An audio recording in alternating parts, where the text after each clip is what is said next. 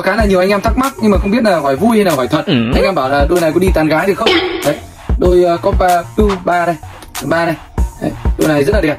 Thế nên là nhiều anh em hỏi là đôi này đi tán gái được không thì mình cũng không biết. Tại vì đôi này mình chỉ dùng đi đá bóng thôi. Copa Pu ba với màu ờ, trắng sữa và hồng.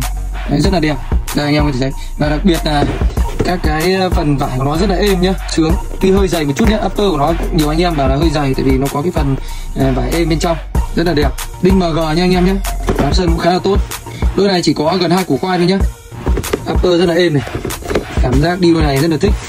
Bộ đế của nó thì hơi cao một chút so với cả các cái dòng khác. Anh em thử tham khảo cái dòng này xem nhá. Anh em đánh giá sao về đôi này? Có thể comment cho mình và mọi người khác biết nhá. Đấy anh em về ờ, đem đôi này đi đá bóng cũng được mà đi đá sân hai người cũng được nhá.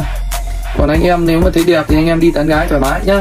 Đấy, đôi này mà kể cả có chó đuổi hay là có bố người yêu đuổi thì cũng chạy rất là nhanh. Chạy rất là nhanh. Được. Nói thế chịu rồi chứ biết sao giờ